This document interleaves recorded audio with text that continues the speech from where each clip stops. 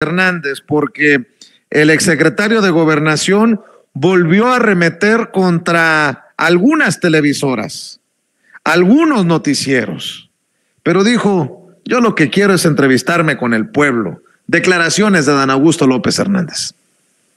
A mí no me importa estar o no estar en los noticieros de Televisa, que me entrevisten o que no me entrevisten yo lo que quiero es entrevistarme con ustedes, con la gente, en sus casas, en los parques, en las plazas públicas.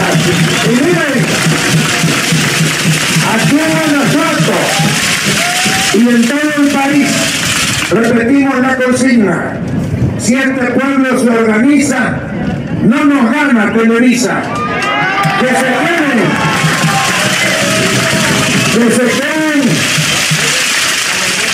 que se queden con sus noticieros y con sus telenovelas.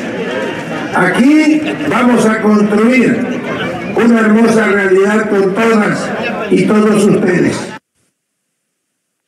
Hoy el, el eh, exsecretario de Gobernación, Adán Augusto López Hernández, incluso arremetió contra Latinus por andar eh, lanzando noticias falsas entre otras cosas, las declaraciones de ah, el licenciado Dan Augusto López Hernández.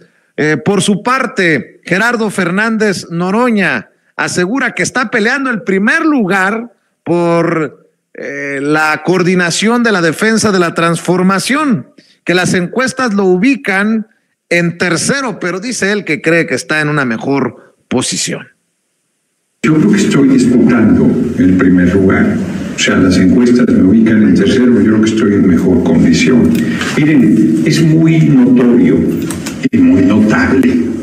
Yo no traigo unión espectacular, ni traeré, ni los quiero. No traigo bandas, no traigo recursos, no traigo más que el apoyo de la gente, más que eso es lo más importante.